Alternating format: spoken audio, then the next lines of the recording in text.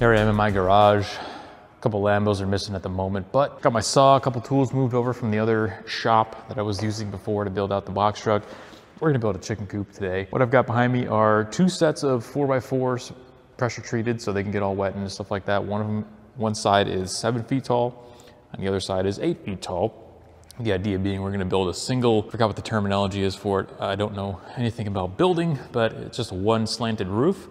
So you don't have to play with, uh, you know, like caps and stuff like that to fill creases on the top. Uh, we're gonna cover it in metal. We're gonna build in a 30 gallon tank of water with rain collection. Hopefully some kind of automatic egg collection system as well. Point being, we need like an automated egg uh, producing system for the chickens that I can also move around when I want to in like the summer we can move it. I got three acres, which is quite a bit. And I want to be able to move the chickens to certain spots so they can eat the grass, the bugs, and all that kind of stuff. Enough talking.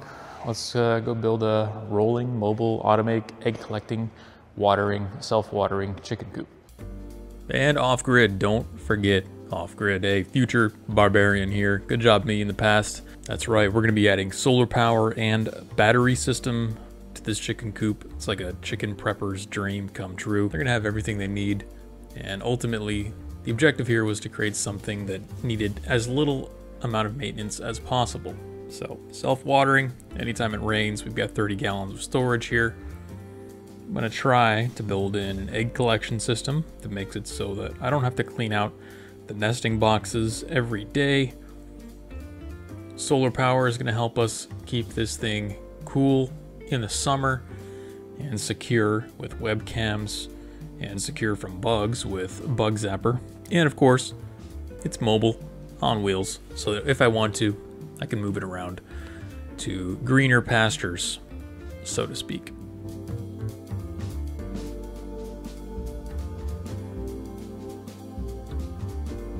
What you're watching here is the construction equivalent of guerrilla warfare.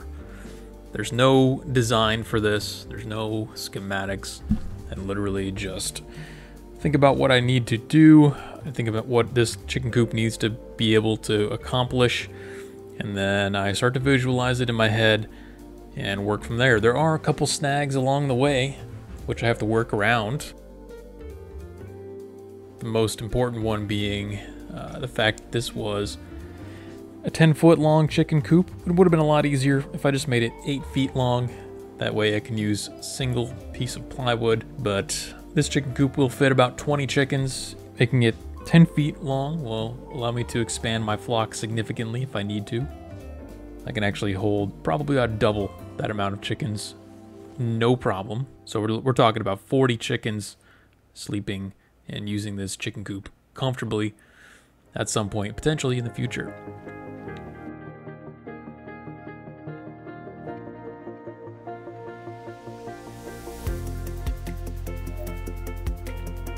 Some other important considerations here. First of all, I'm in Houston, so again, temperature is important. Uh, that's why we're putting in windows at the top of the coop so that hot air can rise out. We also have a Jurassic Park amount of bugs out here, so we need to use some very thick screens on those windows to make sure that no mosquitoes are going to get in. I had my chickens in a smaller chicken coop before this. It was not sealed very well, and they were getting terrorized by mosquitoes all night long, and that's just unacceptable. I need my eggs to be created in a stress-free environment.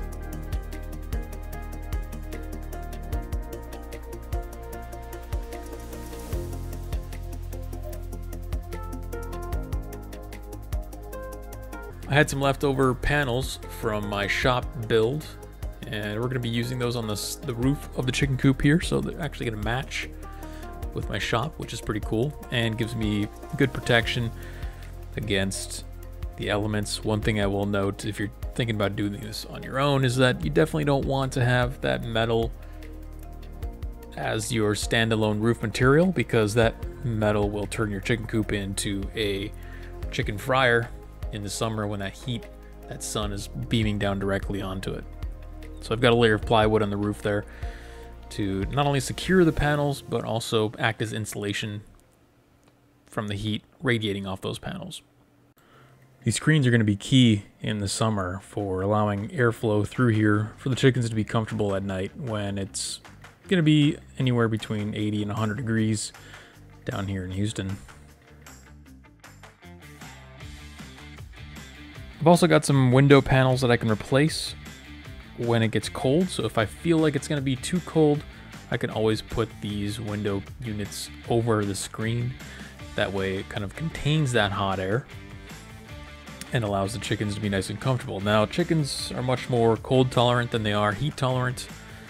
And in Houston, it's pretty much never going to get cold enough to use those, but I figured it's nice to have on hand as a general general principle. Now the idea I had for the nesting boxes included a sloped floor so that the eggs would roll out into a central collection area. This is important because if the eggs sit in the nesting box, they can get dirty and that just makes more work for me. They can get cracked, so we can also also waste eggs and we don't want that either. So I figured I'd try a design that allowed the eggs to roll into a central location and I'm only going with two nesting boxes here because I had four nesting boxes on my previous coop and the chickens only used two barely. They pretty much only used one. The other one was basically a backup. So that's 20 chickens, 16 hens using two nesting boxes, which they seem to be perfectly fine with. Occasionally, there's a random egg laying around here and there that I have to pick up, but 95 to 98% of all the eggs go in the nesting boxes. You might be wondering why the chicken coop is so tall, and that's because I uh, factored in some super long-term potential threats against the chickens, including flooding.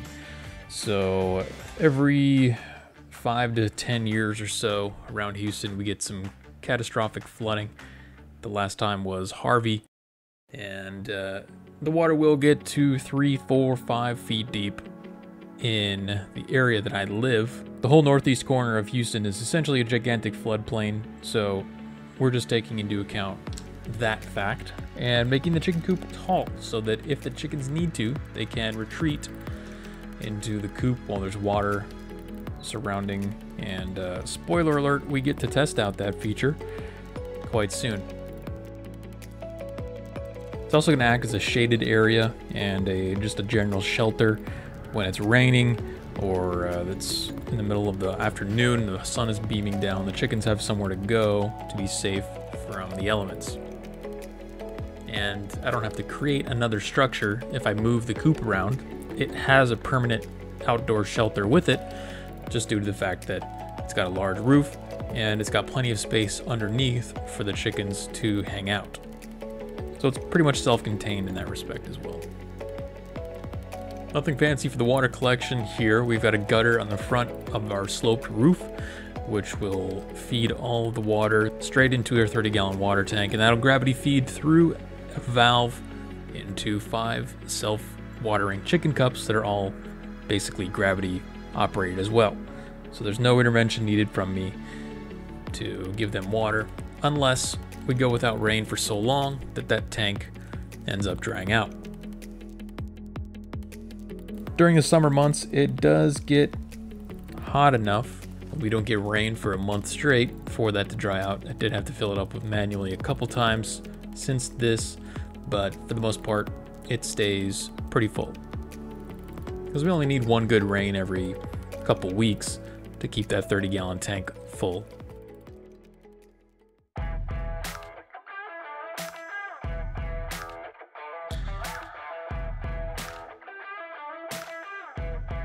I made sure the entire inside of the coop was painted.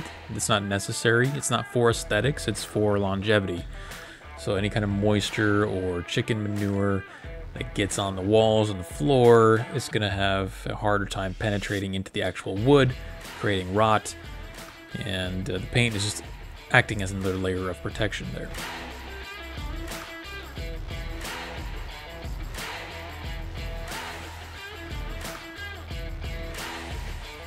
The coop is surprisingly easy to move on flat hard ground, but once you get into very soft, muddy clay, it's a whole different story. And I was stubborn enough to want to move this regardless of those conditions. So it was a very difficult process to clear the path to my chicken coop and use a series of levers and pulleys and all kinds of contraptions to shove my chicken coop through the mud. This coop was making indentations into the clay about three, four inches deep with those wheels on there. But eventually I was able to get it into placement. Only a few short months later, I was able to test out the flood protection features of the chicken coop, and you can see that uh, the chickens were totally fine, despite the fact that they were surrounded by water. They all made their way into the coop during the floods of May Hello. 2024 here in Houston. Now, this is two months after the floods here in pretty much real time in July.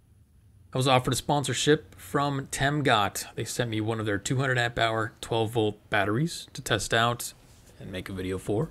I figured what better use than turning my chicken coop off grid.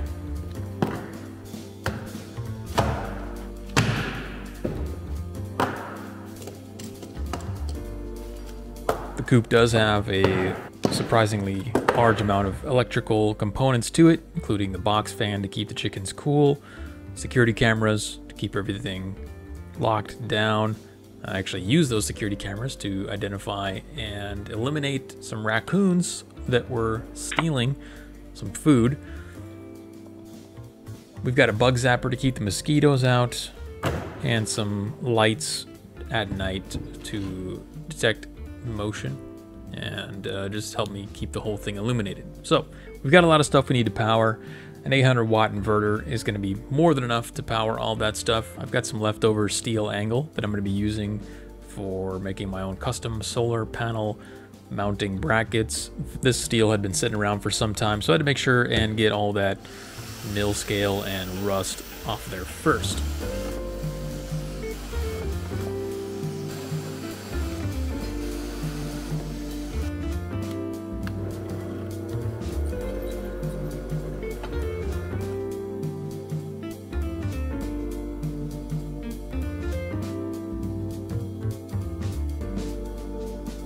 We've got all our electrical components in a nice little neat box here.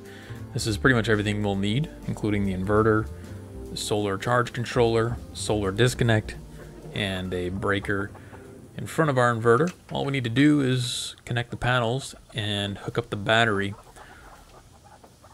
I've got two 400 watt panels here. Definitely a little bit overkill, but my chickens live in luxury. So we're gonna get these two panels mounted to the roof, get those connected up, and get our battery on our utility shelf on the lower level of the chicken coop. So that shelf was purpose built to hold not only the water tank, but also batteries, inverters, What? feed, whatever else I want to put in there for the chickens. She's like, not in my backyard.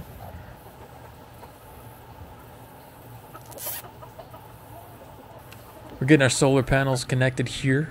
I'm using uh, ferrules to make sure the connections on the ends of these are secure when they go into the solar disconnect. And we're covering these in some wire wrapping as well to protect from the sun. With our solar panels connected in series, they're both about 33, 34 volts each. You can see that we've got about 66 volts, which is what we need to see. Get that battery hooked up, switch everything on, make sure everything is functional, we got 13.4 volts on the inverter. Solar charge controllers can doing its thing. This is actually the first time I've ever used the Temgot app, and it's quite honestly the easiest app I've ever used for any battery or battery management system. It detects the battery right away, so it's very responsive. It's got all the information there that you'd need to see, which is perfect for my situation because I can't see the actual screen on the battery. But if you don't want to use the Bluetooth app, keep in mind that that battery actually has a really nice touch screen directly on it, so you can change configurations, turn on and off charging and discharging. Now this particular model from Temgot also has self-heating, so if it gets too cold in the winter, this thing will actually activate a self-heating function to keep it above the minimum temperature necessary to functionally discharge. 160. The bug zapper only takes 30 watts. That's awesome. So that's really good. That'll run all night, no problem. Down below, they've got three little benches they can sit on and a big box fan right in front of it. So they can sit there and they'll get a breeze during the summer. And the box fan, which only has to run during the day, draws about 60 watts. And I don't have any lights to use yet, but I do have a couple webcams. I got a webcam for inside, and we got a webcam on the outside, so I can watch for predators and stuff. So I'm gonna get those plugged in.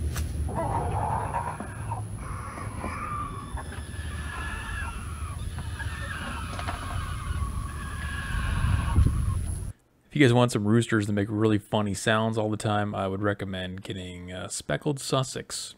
Those guys are just endlessly making me laugh. With everything hooked up, we've got nothing left to do but put our coop back together and give this some time to test it out. Make sure everything works right.